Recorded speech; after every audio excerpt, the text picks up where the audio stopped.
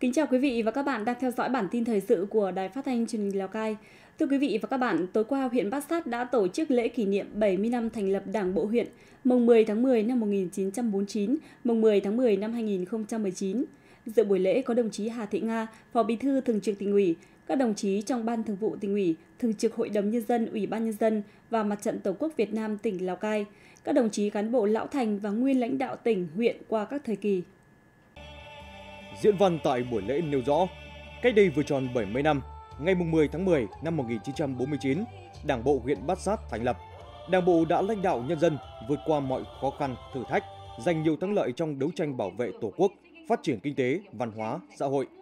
Trải qua 70 năm lịch sử với 22 kỳ đại hội, được tôi luyện trong thực tiễn đấu tranh cách mạng, trong sự nghiệp đổi mới của Đảng, Đảng bộ huyện Bát Sát đã không ngừng trưởng thành, lớn mạnh cả về chính trị, tư tưởng, tổ chức, từ 3 đảng viên đầu tiên đến nay toàn đảng bộ đã có 4.093 đảng viên. Phát biểu tại lễ kỷ niệm, đồng chí Hà Thị Nga, Phó Bí thư Thường trực tỉnh ủy khẳng định, 70 năm qua, Đảng bộ huyện Bát Sát đã từng bước trưởng thành, phát huy mạnh mẽ vai trò lãnh đạo trên mọi lĩnh vực của đời sống xã hội, huy động sức mạnh đoàn kết của các dân tộc trong huyện vào công cuộc xây dựng và phát triển địa phương.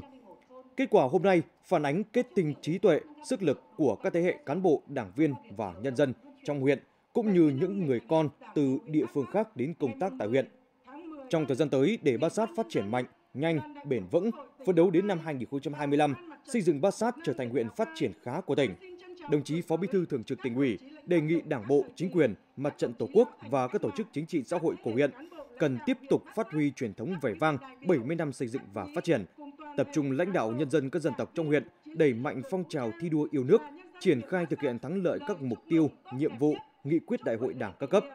huy động mọi nguồn lực, khai thác có hiệu quả tiềm năng, lợi thế của địa phương, tạo nên những đột phá cả về kinh tế và xã hội, đẩy nhanh tốc độ giảm nghèo và giảm nghèo bền vững, nâng cao đời sống vật chất, tinh thần cho người dân, chỉ đạo thực hiện tốt chương trình xây dựng nông thôn mới.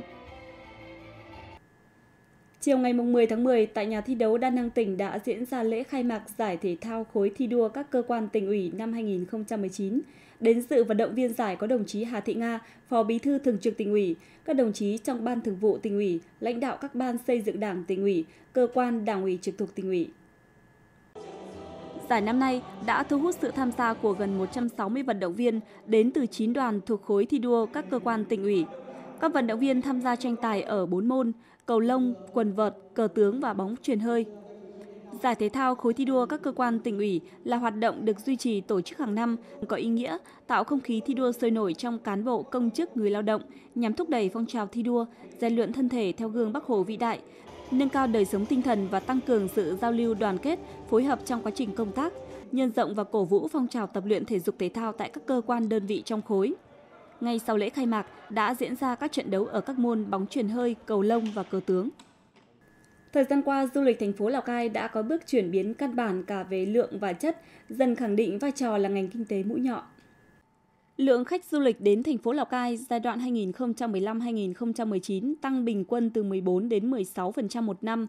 Hiện nay, thành phố có trên 280 cơ sở lưu trú với trên 4.500 buồng phòng. Trong đó có 5 khách sạn 3 sao, 3 khách sạn 4 sao, 1 khách sạn 5 sao, 13 chợ và hệ thống siêu thị nhà hàng. Cùng với sự gia tăng lượng khách đến với thành phố Lào Cai, các cơ sở ngày càng được quan tâm nâng cấp, đáp ứng nhu cầu phục vụ du khách trong nước và quốc tế. Thành phố có 9 doanh nghiệp lữ hành đang hoạt động với đội ngũ hướng dẫn viên du lịch kinh nghiệm, chu đáo, chuyên nghiệp và trên 1.000 đầu xe vận chuyển hành khách. 8 hãng taxi phục vụ đã đóng góp quan trọng vào thu hút khách du lịch thập phương đến với thành phố. Đặc biệt, phát huy những thế mạnh về văn hóa, thời gian qua thành phố còn hết sức chú trọng việc bảo tồn, phát huy giá trị các di sản văn hóa và phục vụ du lịch. Cùng với đó, du lịch làng bản, du lịch cộng đồng ở vùng cao thành phố cũng được quan tâm phát triển và bước đầu đạt được những kết quả đáng ghi nhận. Để phát triển thành phố Lào Cai trở thành khu du lịch hấp dẫn, Phòng Văn hóa Thông tin thành phố đã tham mưu nhiều giải pháp phát triển du lịch, trong đó tăng cường vai trò quản lý nhà nước về du lịch, mở chuyên mục du lịch quảng bá giới thiệu trên cổng thông tin điện tử thành phố, xây dựng các sơ đồ thông tin quảng bá du lịch, khảo sát lập hồ sơ đề nghị tỉnh công nhận các tuyến điểm du lịch trên địa bàn, công nhận thành phố Lào Cai là khu du lịch cấp tỉnh. Trong số 287 tổ quản lý được giao thực hiện vận hành khai thác các công trình cấp nước sinh hoạt, chỉ có 101 tổ hoạt động bền vững, còn lại 186 tổ quản lý được giao quyền quản lý nhưng không hoạt động hoặc mang tính hình thức. Có không ít tổ quản lý đã ngừng hoạt động. Về thực hiện quản lý các công trình cấp nước sinh hoạt nông thôn hiện nay, hầu hết đều do tổ quản lý tự thực hiện. Mức thu tiền sử dụng nước là từ 500 đến 1.500 đồng trên mét khối, chỉ đáp ứng được một phần cho công tác quản lý, chưa có kinh phí duy tu bảo dưỡng, dẫn đến công trình bị xuống cấp, không đáp ứng được nhu cầu tại địa phương và chưa đúng với quyết định số 3253 của Ủy ban Nhân dân tỉnh. Công tác tuyên truyền triển khai thực hiện kế hoạch thu tiền nước của các địa phương chưa quyết liệt nên chưa đáp ứng được yêu cầu. Kiểm tra 33 xã của 9 huyện thành phố cho thấy số công trình thu được tiền sử dụng nước chỉ đạt 35%. Số xã được giao kế hoạch thu tiền nước nhưng không thu được tiền nước là 11 xã, gồm xã Sơn Hải, Thái Niên huyện Bảo Thắng, xã Nàn Sán, Quan Thần Sán huyện Simacai, xã Bản Phố, Lùng Phình, Thải Giang Phố huyện Bắc Hà, xã Tả Giang Phình huyện Sapa, xã Phà Long, La Pan Tần huyện Mường Khương. Tổng số tiền thu được tính hết tháng 9 năm 2019 tại 33 xã đã kiểm tra là trên 414 triệu đồng, chỉ đạt 23% so với kế hoạch của huyện, thành phố giao, đạt 40% so với kế hoạch của tỉnh giao. Thưa quý vị và các bạn, công tác đảm bảo vệ sinh an toàn thực phẩm trong trường học là vấn đề luôn được toàn ngành giáo dục và đào tạo huyện Bát Sát quan tâm, nhất là đối với những đơn vị trường học có bếp ăn bán chú. Nhờ vậy, bữa ăn của các em học sinh luôn được đảm bảo an toàn và chất lượng, tạo điều kiện cho các em được học tập chăm sóc một cách tốt nhất. Năm học 2019-2020, trường tiểu học Mường Hum, xã Mường Hum có 230 học sinh, trong đó có 65 học sinh ăn bán chú. Cùng với việc thực hiện nhiệm vụ giáo dục, chăm sóc về thể chất lẫn tinh thần, Ban giám hiệu nhà trường luôn quan tâm đến vấn đề vệ sinh an toàn thực phẩm. Cụ thể, nguồn cung cấp thực phẩm cho nhà trường có địa chỉ rõ ràng và thực hiện ký hợp đồng cam kết trách nhiệm. Nhờ vậy, nhiều năm qua, công tác vệ sinh an toàn thực phẩm trong nhà trường luôn được đảm bảo, các bữa ăn đạt chất lượng theo yêu cầu, thực đơn được thay đổi thường xuyên. Kiểm soát cái đầu vào đối với lại cái cái cái đơn vị mà mình hợp đồng cung ứng với người ta ấy, thì chúng tôi cũng yêu cầu là là là nhà cung ứng nêu rõ à cho biết rõ là khi nhập thực phẩm từ cái từ cái hộ gia đình nào và từ cái, những cái người nào là là người mà mổ, giết mổ đấy, thì thực phẩm ấy để chúng tôi cũng nắm bắt được, chắc chắn là cái cái cái cái nguồn thực phẩm đấy là thực phẩm đảm bảo thì chúng tôi với nhập và với chế biến cho học sinh ăn. Huyện Bát Sát hiện có 26 bếp ăn tập thể của các đơn vị trường học do Phòng Giáo dục và Đào tạo huyện quản lý, phục vụ nhu cầu ăn trên 1.000 học sinh. Việc kiểm tra hoạt động các bếp ăn tập thể tại các trường học được các ngành chức năng thực hiện khá chặt chẽ, nghiêm túc. Phòng đã yêu cầu 100% nhân viên nhà bếp cho các đơn vị này phải đáp ứng đủ điều kiện, tiêu chuẩn về sức khỏe, chuyên môn theo quy định. Đồng thời tăng cường kiểm soát chất lượng thực phẩm đầu vào, bảo đảm rõ nguồn gốc. Qua các đợt kiểm tra, 100% các trường đã chấp hành đúng các quy định nhà nước về bảo đảm vệ sinh an toàn thực phẩm. Chúng tôi cũng đã phối hợp với cả các cơ quan y tế trên à, địa bàn, đặc biệt là y tế xã cũng rất là tích cực phối hợp với cả các nhà trường trong cái việc kiểm tra để đảm bảo an toàn thực phẩm của các nhà trường. Thì à, từ đầu năm đến giờ cơ bản tất cả các nhà trường đều thực hiện tốt về cái việc à, chu trình đảm bảo an toàn thực phẩm từ khâu hợp đồng mua bán tới khâu chế biến vệ sinh an toàn đảm bảo tốt. Nhằm không ngừng đảm bảo vệ sinh an toàn thực phẩm cho các bếp ăn bán chú, một số trường học trên địa bàn huyện Bát Sát còn phối hợp và phát huy vai trò của phụ huynh trong việc tham gia vào khâu kiểm soát thực phẩm của bếp ăn.